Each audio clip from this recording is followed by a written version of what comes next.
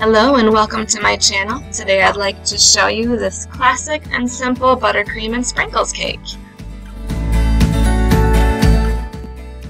This cake is three 5-inch vanilla cake layers with vanilla American buttercream as well.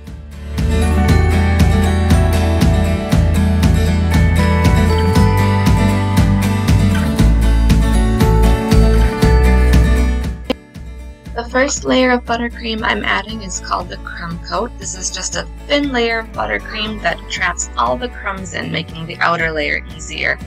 Doesn't need to look perfect or beautiful, it can be a little rough, you're just giving the cake the shape it needs.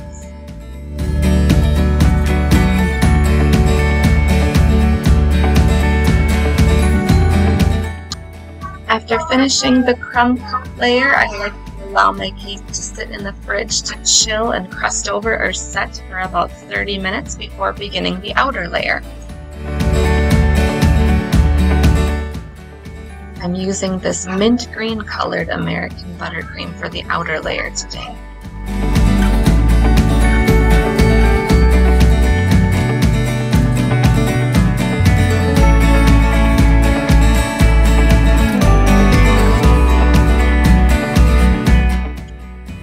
After I finished covering the cake with my offset spatula, I like to use a scraper to smooth it out. I prefer metal because you can heat them up under warm water between passes to really smooth the buttercream and remove air bubbles. When leveling the tops of cakes, I like to lightly pull the buttercream in from the edge just toward the center with my small angled offset spatula. I'm going to pipe a border at the top of the cake with a 1M tip and I'm filling my piping bag with this pink American buttercream that's a bit thicker consistency than the frosting I used to cover the cake.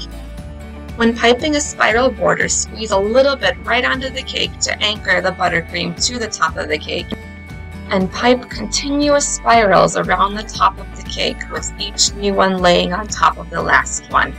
If you need to pause, take a break, adjust to your buttercream, pull the buttercream in toward the center, make your adjustments, and then continue on top of that spiral.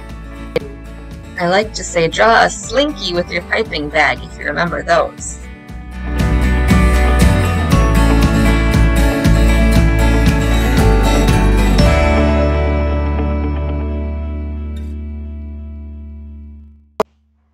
Covering a large area of your cake with sprinkles, I like to set the cake on a baking sheet with raised edges so the sprinkles don't go bouncing all over the place.